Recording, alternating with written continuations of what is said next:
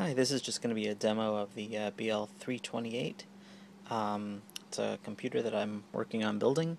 Um, underneath uh, this SD shield right here, you can see a Arduino Pro. That is the uh, the core of the uh, of the computer. On top of it is a Seeed Studio SD shield. Um, some wires plugged into that, but I'll get to that in a moment. Um, we have plugged into the FTDI header here um, this board, which has another header here so I could program it. And then this is a MAX232 um, interface for this serial port, which I'll get to in a moment. Um, and then over here, just a simple circuit to, uh, have a power switch, a reset button, and a power light. And then this cord just goes over to this battery pack, which I picked up.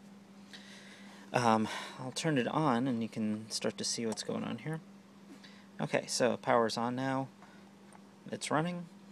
Connected up to uh, the serial port, which is uh, connected to pin 0 and 1 of the Arduino. We follow that, we come over to this old Tandy 102. Now if I run the telecom program it's connected at, uh, you can see there, 88N1, that's uh, 9600 baud, hopefully. Uh, let's hit uh, F4 to start terminal. Okay, so now what you see there is the prompt on the uh, on this thing. Let me uh, reset it. You can see Tiny Basic Plus, 151 bytes free. So if I do a list, you won't see anything. But if I do files, You'll see uh, kind of thrash directory listing, but trust me, it's there. Uh, oops. Load test dot BAS. Enter. list print a. Hmm.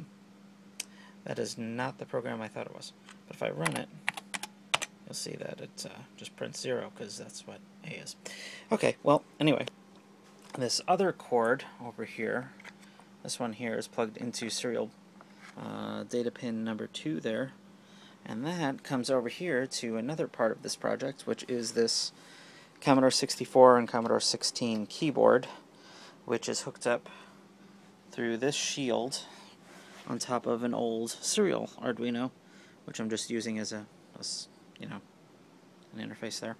Okay, so I got the cord coming off of that. Now, what, is going on here is this is scanning this keyboard and converting it to just sta standard serial. So if I type something here, if I type uh, list and hit enter, you'll see it uh, listed that. So if I type uh, new, and I am typing this all over here on this thing. I also put in some macros. You notice the, the green LED here flashes faster when I press down one of the control keys. Um,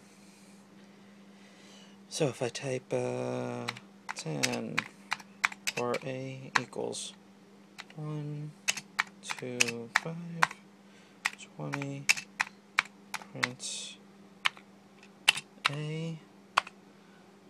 30 next A.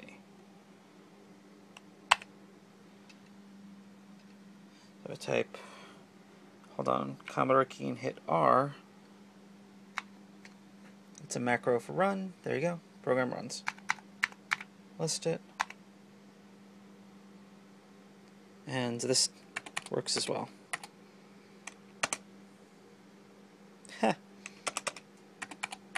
It gets a little confused. There we go. So there we go. That's the uh, the BL328 computer in its current state.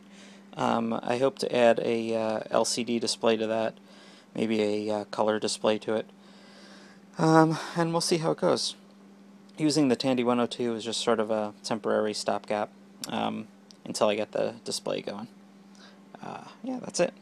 Have a great day, and thanks for watching.